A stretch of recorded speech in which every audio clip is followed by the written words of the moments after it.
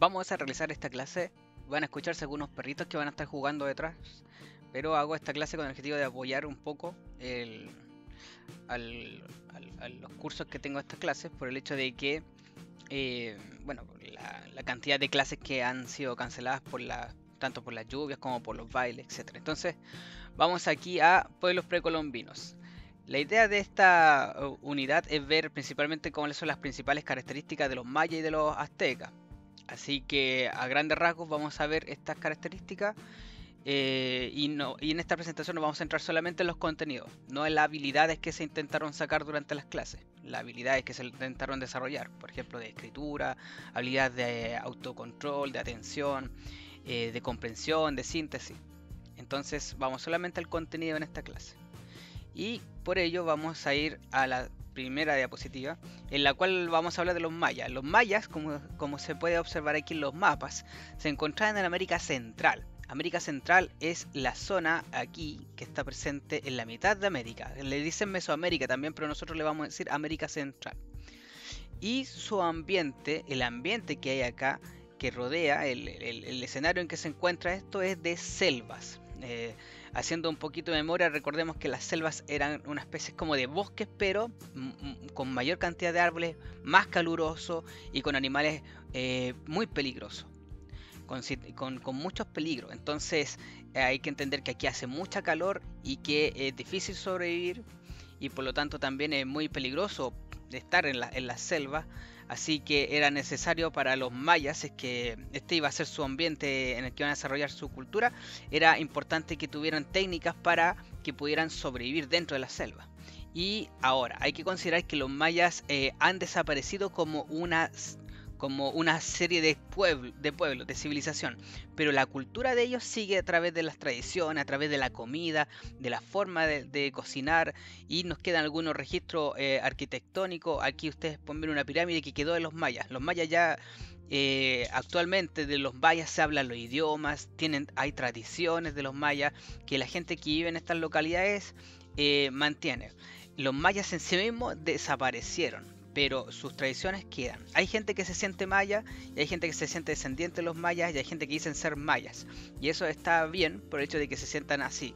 El tema es que como un gran pueblo o como una gran, una gran ciudad-estado eh, de los mayas ya desapareció. Entonces aquí ustedes pueden ver las pirámides y si se fijan, esta otra pirámide de aquí al fondo está cubierta de eh, árboles, entonces no se nota. Y eso fue con respecto a los mayas. La selva avanzó, eh, donde antes habían eh, ciudades, ahora hay selva. Entonces es difícil encontrar los restos de los mayas dentro de estas situaciones. Ya, aquí vemos que los mayas se organizaban en ciudades-estado. ¿Qué quiere decir ciudad-estado? Quiere decir que eh, aquí literalmente tenían sus propios gobiernos. O sea, cada ciudad tenía su propio rey. Hay que entender que una ciudad es como un montón de casitas alrededor de un templo y de un centro de gobierno. y, y, alrededor de todo eso un campo. Entonces, ellos vivían en ciudades-estado, no tenían un líder central, no tenían un presidente, por así decirlo. Cada ciudad tenía su propio gobierno. Es como si en Chile cada ciudad tuviera su propio rey. Un rey en Santiago que fuera diferente al rey de Concepción o al rey de Valparaíso o al rey de Talca o al rey de, de Antofagasta. Cada ciudad tenía su propio rey, su propio gobierno, su propio ejército. Eso sería el concepto de ciudad-estado. Entonces, ese es el punto con respecto a los mayas. Tenían sus propias independencias cada ciudad. No había un emperador que organizara a todas las ciudades, sino que cada ciudad tenía su propio gobierno. Y se mandaban solitos. Tenían también como diferencias culturales cada una de estas ciudades pero en realidad todos se manejaban de acuerdo a una lengua muy similar entre cada ciudad, entonces tenían como una cultura en común que era la lengua, las tradiciones, y, eso hacía que tuvieran una identidad muy similar que se hace llamar maya. Pero los mayas vivían en ciudades-estado, es decir, ciudades con sus propios gobiernos. ¿Cómo, cómo, cómo lo hacían para sobrevivir? Bueno, resulta que como los mayas vivían en selvas, era necesario abrirse paso en la selva. Para eso ocuparon una técnica que se llama tala y rosa. Fíjense bien que ahí dice rosa con Z, no con S. No es una rosa como la, rosa de Guadalupe, sino que es una rosa con Z, que quiere decir quemar, quiere decir eh, devastar cierta zona. Entonces, em, ¿cómo lo hacían para, para, para, vivir dentro de las selvas? Abrían espacio. Y aquí en la siguiente imagen eh, eh, vamos a ver cómo lo hacían. Eh, en la presente imagen, la que está en esta diapositiva, ustedes pueden ver ahí una organización maya y hay una pirámide, al fondo se ve otra, y aquí unas personas intercambiando productos. Esa era como una vida cotidiana de los mayas. Entonces vamos a ver de qué trata Tala y Rosa. ¿Qué es lo que hacían? Aquí están ustedes viendo las tres etapas, o las cuatro etapas que son el, la tala de rosa. Entonces ustedes pueden ver aquí en la primera parte que lo primero que hacen es enfrentarse a esta selva eh, y comenzar a cortar los árboles. ¿Para qué? Para abrir espacio. Eh, luego de eso comienzan a quemar el lugar con el objetivo de ir matando las raíces de los árboles para que no crezcan de nuevo los árboles en esa zona. Se matan las raíces y así se evita que de pronto cuando uno tenga una casa, eh, construya en ese lugar, aparezca un árbol y, con el tiempo vaya creciendo el árbol y ustedes tengan que mover la casa o tratar de sacar el árbol. Entonces para evitarse todos esos problemas, ellos quemaban el lugar y generaban también al mismo tiempo un, unas y esas cenizas después van a servir para que se pueda cultivar en ese lugar. Entonces vemos en esta etapa que la de quemado, quemar el lugar y eso se llama rosa. Luego de eso viene el momento en que van a hacer las plantaciones del maíz a través de las técnicas de milpa y luego de eso eh, ustedes pueden ver cómo es el proceso de, agricultura. Agricultura se trata de cómo cultivar cosas para que me den alimento las plantas. Eso es agricultura. Entonces ellos desarrollaron este tipo de agricultura. Esta solución dieron al, a la agricultura por el hecho de que estaban en selvas muy, muy eh, la palabra estúpida quiere decir que había muchos, muchos árboles. Si retrocedemos un poco, miren, fíjense acá, esto parece un mar de árboles y ellos tenían que vivir adentro de este mar. Entonces nosotros dijimos que las selvas tienen una particularidad que son muy peligrosas. Muy, eh, hay muchos animales, entonces si viven dentro de la selva y construyen sus casitas dentro de la selva, van a estar expuestos a los animales salvajes que hay, a los insectos, a, las, a los reptiles. Mientras que si despejan, van en primer lugar, van a tener más facilidades para transportarse, para moverse, y por otro lado, más facilidades para construir un campo dentro de la zona. Así quedaban después los espacios abiertos para que ellos pudieran desarrollar este tipo de aldeas que tenían y poder tratar de trabajar eh, y, tener espacio para, para vivir. Ven, ahí tenemos unos árboles cortados aquí abajito. Voy a hacerle un zoom. Ahí tenemos unos árboles cortados Vemos a la gente ahí eh, preparando las canoas. En este momento yo les diría ya, ¿qué cosas ven acá? Eh, describan. Entonces ustedes me dirían, eh, vemos personas, vemos casas, vemos... Y después les diría, la siguiente habilidad sería analizar. ¿Qué están haciendo estas personas? ¿Cuál es la unión de los elementos? La, la, gente vive en las casas. Hay uniendo dos elementos, la gente y las casas. La gente está jugando con unos pajaritos acá. Em, la gente está eh, construyendo un bote y después ustedes vendría la habilidad de interpretar qué es lo que, muestra esta imagen. Y ahí ustedes me dirían, esta imagen muestra como el día a día en la vida de los mayas, o un, día en la, vida de los mayas, como era la cotidianidad de los mayas. Eso sería si trabajáramos con habilidades, pero en este momento estamos trabajando solamente con contenidos. Bueno, nosotros dijimos que, vamos a ir para atrás, eso sí, nosotros dijimos que ellos tenían un sistema de cultivo, pero bien, resulta que cuando ellos cultivan se van a encontrar como en la selva hay muchos animales que van a venir a comerse la comida de ellos, que van a cultivar, entonces tienen que desarrollar una forma de proteger los alimentos. Y esta es la forma en que lo hacen, la milpa. Bien, vamos primero con la milpa. La milpa, como ustedes pueden ver, voy a sacar acá esto y voy a ponerme aquí para que no se distraigan. La milpa es, un, es una forma de de cultivar cosas ayudados por plantas. Entonces aquí tenemos la primera planta, la principal, que sería el tallo de un maíz. El tallo de lo que se llama maíz, lo que nosotros conocemos como la planta del choclo. Este tallo gigantesco que ustedes pueden ver eh, está rodeado, si se fijan, aquí hay una ramita que empieza a crecer y que empieza a rodear el tallo. Si se fijan, se empieza a enredar en torno al tallo. Y eso le va a permitir a esta planta, que es la que entrega lo que nosotros conoceríamos como arberja o porotos verdes, eh, nosotros tenemos esta planta aquí. Si esta planta creciera en el suelo, vendrían los ratones o animales y se comerían esas plantas. Entonces los mayas cuando vengan a cosechar, a buscar qué creció, se van a encontrar con una planta que está siendo comida por animales. Para evitar eso, los mayas hicieron esta idea de hacer crecer la planta del poroto en torno a la planta del maíz y así queda elevada. Entonces, por ejemplo, puede venir el ratoncito y se puede comer esta de aquí y esta de aquí abajito y esta de aquí.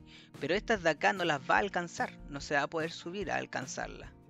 Entonces van a, los mayas van a decir, bien, logramos cultivar dos cosas, el choclo y tenemos también las arberjas o los portos verdes. Pero hay un problema. ¿Cuál es el problema? Que también hay otros bichitos que están en la planta, unos insectos. Y estos insectos van y comienzan a subir y se empiezan a comer las plantas. Para protegerse de eso, también desarrollaron, o se dieron cuenta de que había una planta que no era muy invadida por los insectos y esa es el ají.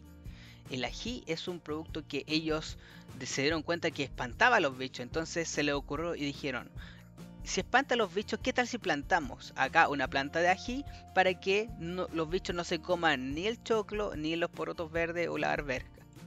Y les resultó. Entonces, como lo lograron hacer, permitieron que crecieran tres productos alimenticios, tres comidas aquí, en esta planta, con el menor riesgo posible de que se la coman los insectos o los, animales de la selva. Y eso les permitió a ellos tener esta agricultura y sobrevivir. De eso se trata la milpa. La milpa es eso. Ahora, también había otro elemento súper importante que era el cacao. Y el cacao era un producto que ellos ocupaban también para comerciar. E, es una particularidad, es algo normal, pero el cacao a ellos también lo ocupaban mucho porque les daba mucha energía y eso les permitía a ellos trabajar más o estar en las guerras más activos, etc. Pero también el cacao servía, como era un producto importante, también lo ocupaban para pagar. Entonces a veces cuando no tenían un producto, por ejemplo yo quiero comprar maíz, quiero comprar choclo, eh, voy y ofrezco eh, algún otro producto que se parezca al choclo. Pero si por ejemplo eh, quiero comprar el servicio de una persona, que una persona haga algo por mí, y esa persona no quiere maíz, entonces hay un producto que todos sí van a querer y ese producto es el cacao. Y yo puedo pagar con ese producto. Entonces voy y le doy granos de cacao y el caballero hace lo que, lo que, lo que necesito que haga. El cacao fue súper importante. Daba mucha energía. Hoy en día los papás, las mamás, los abuelos, quienes sean que estén en sus casas, hay veces en que ocupan otro producto para darse energía. Y ese producto es el café. Era muy muy eh, frecuente el, uso del cacao. Ya, ahora, yo hice esta pirámide porque, bueno, me quedó más o menos fea, pero el tema es que la idea es que ustedes vean cómo se organizaban los mayas. Y los mayas, hay que recordar que esto es ciudad por ciudad. Cada ciudad tenía su, su sistema de organización, su propio rey. Entonces, vamos a ir a ver aquí. Eh, vamos a partir por la mayor cantidad de gente. Aquí abajito, como en la, la pirámide es grande aquí y aquí es chiquitita, es equivalente a cantidad de gente. Aquí ustedes pueden ver que hay mucha gente y aquí hay poca gente. Entonces, mucha gente era esclava, era, eran esclavos. O sea, son personas que están obligadas a trabajar y además que tienen un dueño. Entonces, una persona esclavo tiene un dueño, un dueño que la manda y que le dice, anda a trabajar acá, anda a hacer esto otro, anda a buscar esto, anda a cortar esto otro. El esclavo tiene que hacerlo, porque si no lo hace, lo van a golpear o lo van a matar. Tiene que hacerlo. Si no lo hace, lo van a castigar. Él no tiene decisiones. Él tiene que hacer las cosas si no va a recibir un castigo y ese castigo se lo va a dar su dueño. Y esa persona no se puede arrancar porque si se arranca, la van a perseguir y se la van a devolver al dueño y ahí el dueño va a estar más enojado todavía. Esos son los esclavos. Luego de eso vienen los campesinos. Los campesinos se encargan de cultivar. Em, ahora, normalmente los esclavos son muchos, pero va a depender también de la ciudad-estado. Hay veces que los esclavos son en menor cantidad que los campesinos. Hay más campesinos que esclavos. hay veces. Entonces yo lo puse aquí abajo porque esto es una pirámide social que se refiere a la cantidad de poder que tiene. La cantidad de poder que el que tiene aquí arriba es mayor que la que tiene aquí abajito. Y aquí los del fondo casi no tienen poder. Y esos son los esclavos. Los campesinos son los que se encargan de cultivar. Ellos son libres, ellos pueden hacer lo que quieran. No son esclavos, pero sí tienen que trabajar en el campo. Luego de eso, los artesanos, que se encargan de hacer como cosas em, que son los alfareros, son los herreros, son los, eh, los que se encargan de hacer tejido, los que se encargan de hacer tejidos con mimbre, etc. Estoy haciendo un ejemplo de cómo son los artesanos hoy en día. Eh, obviamente no habían gente que trabajara con los metales porque ellos eran muy pocas personas las que sabían ocupar los metales, eh, derretir el metal, etc. Por otro lado, después de eso, con más poder todavía están los sacerdotes y los guerreros. Hay veces en que los sacerdotes son más poderosos que los guerreros y por lo tanto van arriba de los guerreros. Y hay veces en que los guerreros son más poderosos que los sacerdotes, entonces van arriba de los sacerdotes. Pero aquí yo los puse en el mismo nivel. Generalmente los guerreros son como los líderes de los ejércitos. Y están los soldados. Los soldados son los que eh, están al mando de estos generales. Ahora, eh, puse la palabra guerreros porque quise poner aquí los que van a pelear, los que van a la guerra. Y están los sacerdotes que se encargan de dirigir los rituales, la religión, los que dirigen los, los eh, todo lo que tenga que ver con hacer una oración, los que tienen que ver con bendecir cosas, eh, los que tengan que ver con hacer los matrimonios, con hacer la, la, la, intentar sanar a alguien. Todo eso lo hacen los sacerdotes, entonces son muy importantes. Luego de eso, tienen más poder todavía los nobles. ¿Quiénes son los nobles? Son los parientes del rey, son los amigos del rey son los más cercanos al rey. Eh, a veces son los hermanos, son los hijos, son los sobrinos, los tíos. Y luego de eso viene un grupo de personas que el rey nombró como cercanos, como muy, muy amigos. Y por ejemplo, podría ser un guerrero que, tuvo muchos actos heroicos y el, y el, y el líder de, los de esa ciudad azteca, de esa ciudad maya, les dijo ya, tú a partir de ahora es un noble o tal vez un sacerdote, o incluso un artesano tal vez. El, rey de esa ciudad-estado lo nombró eso. Ahora, ¿cuál era el nombre del rey de la ciudad-estado, de cada ciudad-estado? Se llamaba Ahau. Ahau. Esa W es una U. Ahau. Ese era el nombre del líder de la ciudad-estado. Cada, recuerde que los mayas vivían en ciudad-estado y cada ciudad-estado tenía un líder. El nombre de ese líder es Ahau. No es un emperador, porque el emperador manda sobre muchas ciudades al mismo tiempo, mientras que el Ahau manda sobre una sola ciudad-estado. Esa sería la pirámide social de los mayas. Entonces, como pueden ver, hoy en día, si nosotros comparamos esta pirámide con la de Chile, nos vamos a encontrar con que en Chile hoy en día no se parece nada a lo que está aquí. Hoy en día en Chile todas las personas son libres, así que no hay esclavos. Y el campesino, el artesano, el sacerdote, el guerrero y eh, están en el mismo nivel. Todos son parte de un grupo que va a depender si tiene, eh, si cumple unos requisitos o no. Va a ser o habitante de Chile o va a ser ciudadano de Chile. El habitante de Chile es el que está en Chile, que vive en Chile y que incluso puede tener la nacionalidad chilena, pero no puede votar. Y está también el ciudadano chileno. El ciudadano chileno es, cumple todos los requisitos del habitante, pero además sí puede votar.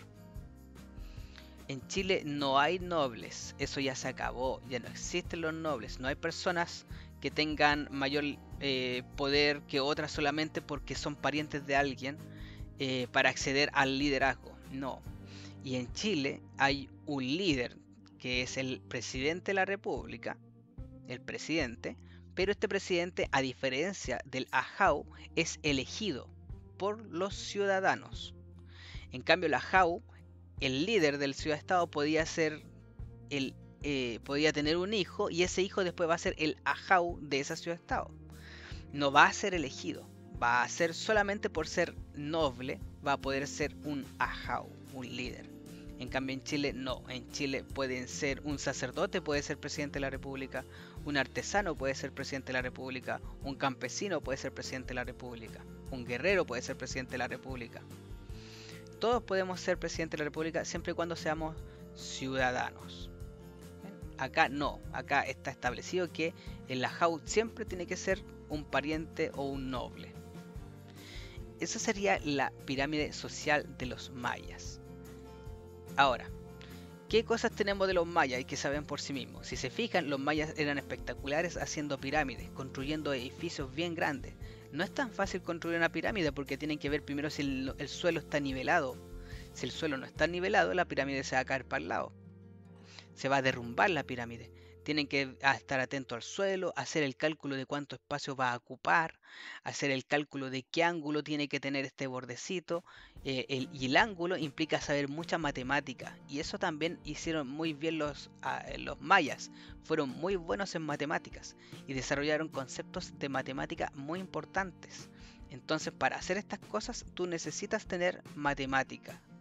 Necesitas hacer esto de forma matemáticamente porque si no lo haces matemáticamente, lo vas a intentar hacer, a ver, eh, vas a intentar a ver si, ver si resulta.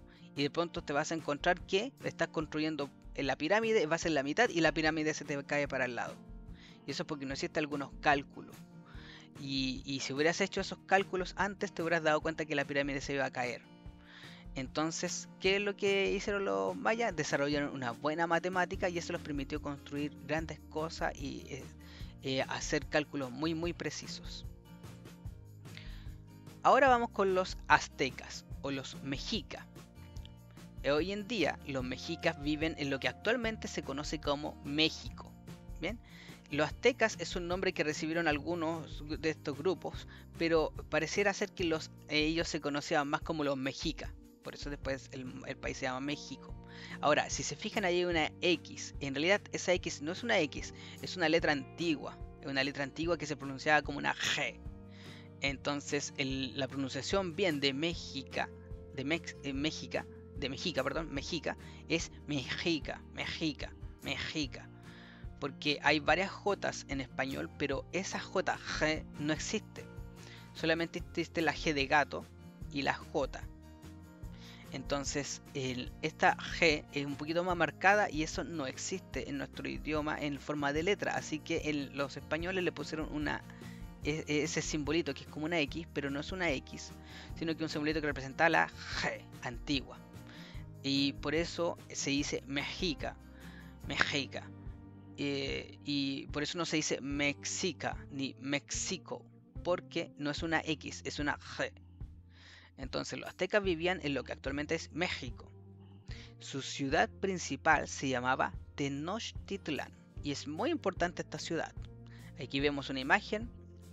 Eh, les diría a ustedes qué es lo que ven y ustedes me tendrían que decir, vemos a una persona que está de pie mirando para arriba. Eh, ustedes me dirían también que vemos acá unas ciudades, una ciudad, perdón, unas, unas pirámides. Me dirían que ven canales, y que los canales ven botecitos. Y después yo les preguntaría, para ejercitar su habilidad de análisis, les diría, ¿y qué está pasando? Entonces ustedes me dirían, ya el botecito está avanzando en el, en el canal, esta persona tal vez está mirando, está vigilando, porque también tiene un escudo aquí. Y después yo les diría, ¿y qué representa esta imagen? Y ustedes me, dirían, o les diría, ¿qué me, ¿cómo interpretan esta imagen? Y ustedes me dirían, eh, esta imagen representa a la ciudad, a una ciudad azteca. Y ahí yo le diría, muy bien, excelente, ahora escríbalo en tres líneas, por ejemplo. Y ustedes me explican, ya aquí podemos ver a una ciudad azteca donde hay una persona que está mirando y unos botecitos que están avanzando por el agua a través de los canales que rodean a la ciudad.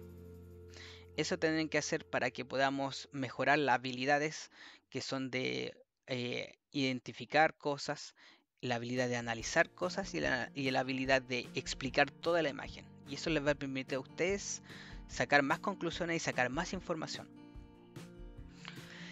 Bueno, aquí ustedes pueden ver Tenochtitlán, la ciudad como una representación, es un dibujo. No es una foto, no es, no es como debería, como tal vez pudo haber sido, pero ustedes pueden ver aquí una representación.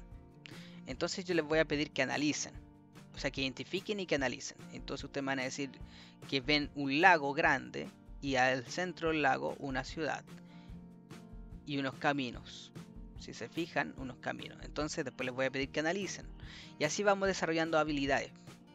Ahora, vamos a ir resumiendo, porque para que, como dijimos, esto va a ser de contenido y no de habilidades. Esto ustedes pueden ver en una ciudad que se llama Tenochtitlán y que está al medio del lago. Y el objetivo del medio del lago es para poder defenderse bien, porque los aztecas tenían tradiciones y algunas de esas tradiciones implicaban capturar gente para sacrificarla, para matarla. Entonces los aztecas tenían muchos enemigos, todos querían atacar a los aztecas, así que ellos dijeron, ¿cómo nos podemos defender?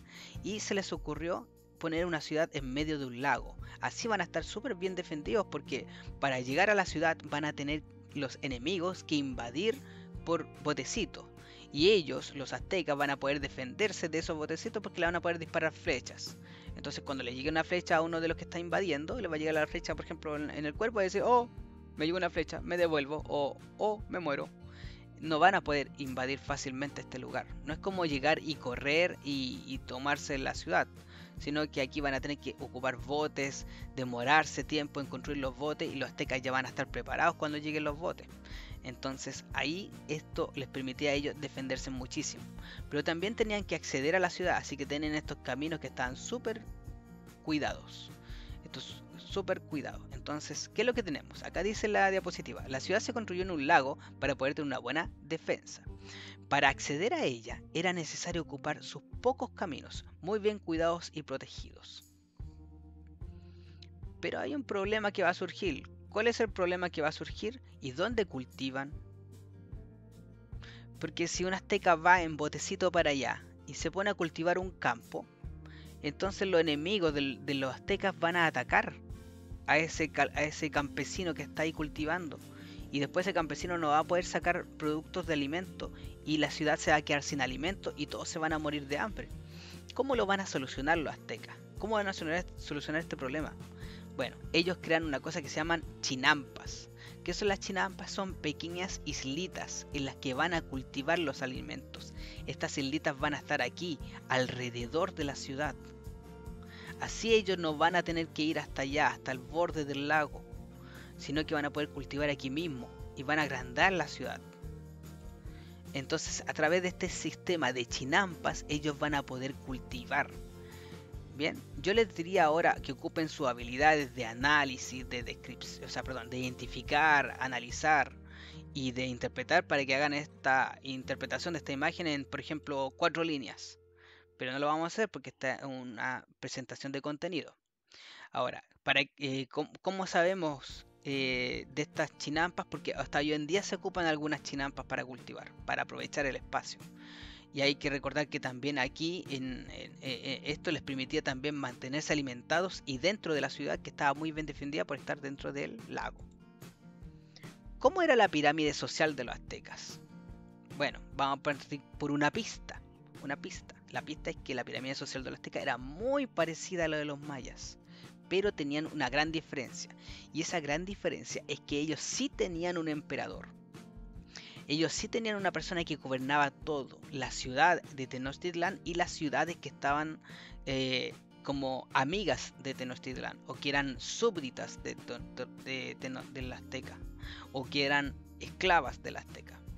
Entonces ahí este líder emperador tenía un nombre que se conocía como Tlatoani, que sería como el emperador, alguien que a todo obedecen y todas las ciudades obedecen. Entonces vamos a la pirámide social. Vemos que son los mismos elementos que la pirámide eh, maya. De hecho, yo les diría que entonces ocupemos la habilidad de comparación, de deducción, perdón, comparación, análisis y deducción. Entonces ustedes compararían esta pirámide con la pirámide em, maya. Luego de eso ustedes analizarían y dirían, a ver, ¿qué elementos hay aquí? que también están en la pirámide maya. Y también veríamos que hay esclavos, que hay campesinos, que hay artesanos, sacerdotes, guerreros, nobles y un Tlatoani. Y ese Tlatoani es el emperador. Entonces ahí ustedes después harían con la habilidad de comparación y dirían, hay una diferencia. ¿Cuál es la habilidad? ¿Cuál es la diferencia? El Tlatoani. Y con la habilidad de em, eh, análisis sabrían que es un emperador y que el emperador manda sobre todas las ciudades. Y luego de eso, con la habilidad de interpretación, ustedes me dirían en qué se diferencia la pirámide social de la pirámide eh, eh, social maya, de la pirámide azteca, y ustedes dirían en el Tlatoani, en el emperador. ¿Y cuál sería esa diferencia? Es que un, el Tlatoani es un emperador y el Ajau, que es de los mayas, es solamente el líder de la ciudad-estado. Y esa sería toda la presentación que hay con respecto a estos contenidos. Em, hice esta clase eh, juntando varias clases pequeñitas que hicimos porque las clases generalmente lo que estoy haciendo es tratar de que ustedes logren em, concentrarse en escribir primero lo que está en la pizarra en su cuaderno de forma correcta eh, para que puedan aprender como a tener ciertas capacidades de control de fijarse en los detalles, de estar atento a lo que dice en la pizarra, eh, y así vayamos desarrollando otras habilidades como por ejemplo el autocontrol, las habilidades también de la percepción, de eh, comparación visual, etcétera. ¿Con qué objetivos? Con que puedan tomar apuntes, perdón, puedan escribir de la pizarra de forma correcta para que puedan tener después esa, eso contenido en su cuaderno eh, escritos de buena forma y puedan estudiar fácilmente y no tengan problemas con los nombres o que hayan puesto un nombre diferente o que hayan escrito mal una palabra, por ejemplo el Tlatoani, que, que la pueden escribir bien, para que así después ustedes cuando tengan que escribirlo en la evaluación eh, no tengan problemas y que se hayan confundido. Eh, todas esas pequeñas cosas, esas habilidades chiquititas que estamos desarrollando les van a servir para que después en octavos sean unos sean ultra pro, eh, super buenos y así puedan tener un, buen rendimiento más, más tarde. Bien, bueno, esos serían los puntos que tenía que ver. Espero que se encuentren muy bien. Chao, chao.